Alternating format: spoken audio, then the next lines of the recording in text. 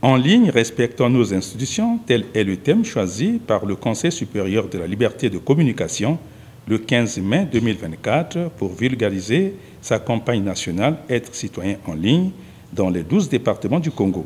Une réponse aux méfaits des réseaux sociaux fustigés par le chef de l'État Denis Sassou Nguesso le 6 janvier 2024 dans son message devant le Parlement réuni en congrès. Ce jeudi 23 mai 2024, le haut conseiller Asie Dominique de Marseille, délégué national du Conseil supérieur de la liberté de communication dans le département de Pointe-Noire, a échangé avec les élèves des lycées de l'enseignement général de Pointe-Noire en premier lieu pour donner un message citoyen à cette couche juvénile en vue d'utiliser à bon escient les réseaux sociaux. En second lieu, avec les parents d'élèves et la société civile, pour traduire les parts de responsabilité dans l'éducation des enfants dans la censure des réseaux sociaux. Des moments d'échange passionnants ayant permis aux hauts conseillers de sensibiliser sur les méfaits des réseaux sociaux sans nier leur existence fonctionnelle.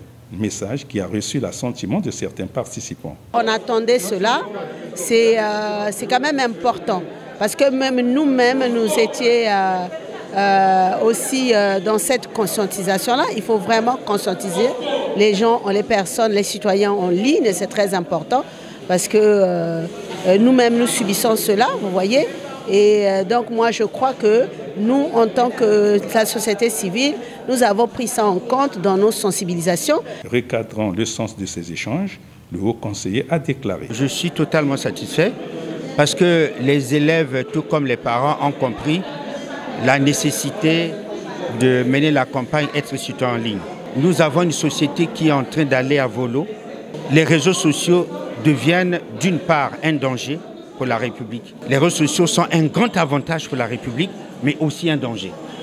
Et quand quelqu'un en bonne santé, évidemment, il ne va pas voir le médecin. C'est quand il est malade. Donc le côté positif des réseaux sociaux, ben, c'est bon, c'est bien. Mais le côté négatif nous interpelle à ce que nous prenons euh, le taureau par les cornes pour que l'on puisse diminuer, je dirais pas éradiquer, diminuer les effets des réseaux sociaux. Être citoyen en ligne, c'est savoir que le citoyen a des droits et des devoirs. Il peut revendiquer des droits, mais qu'il sache qu'il a des devoirs aussi. Alors, les droits et devoirs, c'est quoi? Savoir vivre en société, c'est de respecter la norme. La norme, c'est la règle de droit. Un citoyen qui bafoue la règle de droit, eh ben, n'est plus un citoyen. Et nous demandons qu'il devienne citoyen quand il prend le téléphone pour communiquer en ligne, qu'il se dise ce que je dis là va toucher le monde entier. Du coup, il me faut montrer ma dimension de quelqu'un qui est responsable, d'un communicant responsable.